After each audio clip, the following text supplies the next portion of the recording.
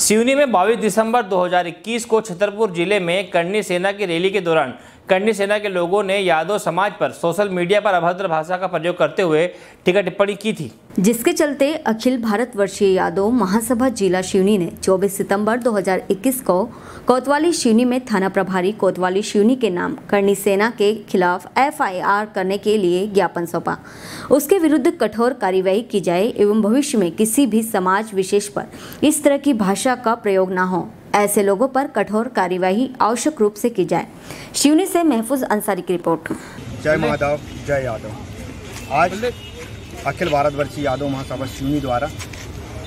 विगत 22 सितंबर को छतरपुर में करणी सेना के एक सार्वजनिक रैली में पूरी यादव समाज के ऊपर जो अभद्र टिप्पणी की गई है गाली गलौज की गई है इसी को लेकर के आज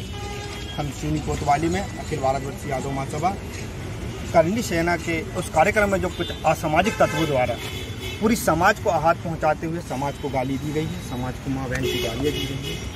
उससे हमें बहुत आहत हुआ, दुख हुआ। आज हम थाना कोतवाली में उनके खिलाफ एफ़ आई आर दर्ज कराते हुए हम प्रशासन से मांग करते हैं कि ऐसे असामाजिक तत्वों के ऊपर, जो कि उन्माद फैलाना चाहते हैं, तनाव की फैलाना चाहते हैं समाज के बीच में, उनके लिए कड़ी से कड़ी कार्रवाई की जाए, जिसमें आने वाले समय में कोई भी असामाजिक तत्व ऐसा कृत करने की कोशिश न करें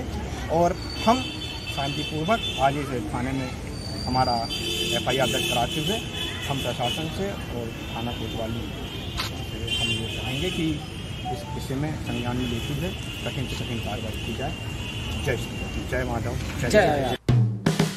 हेलो फ्रेंड्स आप देख रहे हैं हमारा channel S W twenty four news हमारे सारे वीडियो सबसे पहले देखने के लिए आप हमारे चैनल को सब्सक्राइब करें और पास में लगे बेल आइकन को दबाना बिल्कुल भी ना भूलें।